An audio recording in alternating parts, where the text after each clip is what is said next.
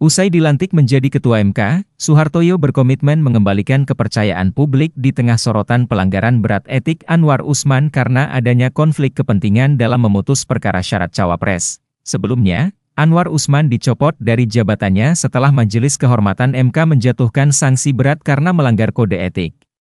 Selain Majelis Kehormatan MK, sejumlah pejabat dan tokoh hadir pada pelantikan yang digelar di gedung MK ini. Sementara itu, Anwar Usman tak hadir dalam sidang pleno pengucapan sumpah dengan alasan kurang sehat. Menurut Soehartoyo, Paman Gibran Raka Buming Raka itu sudah meminta izin tak hadir karena melakukan pemeriksaan di rumah sakit.